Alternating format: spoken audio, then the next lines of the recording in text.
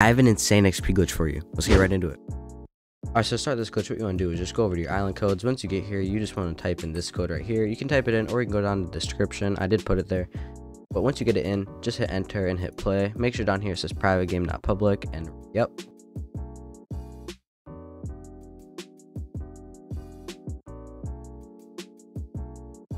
Once you get in, what you want to do is just turn to your right and you'll see these buttons over here. You just want to grapple over and once you get over here, just look in this corner and look down.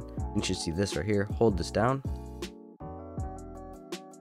And then you'll start getting a little bit of XP. This XP is nothing crazy. Alright, so for the final glitch, what you want to do is just while looking at these buttons, turn to your left and go all the way to this corner over here.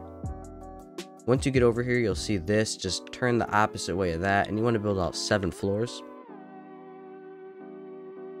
Once you build out seven floors, what you want to do is just look over in this right corner and you want to interact with this right here. Once you do that, you will be uh, teleported into this room. What you want to do is just run over to this corner over here, interact with this. Once you do that, you will start getting more XP. And then the final thing you can do in this map, and then the final thing you can do in this map is go back over to these buttons right here and go to the middle button hit it and you will start bouncing on these.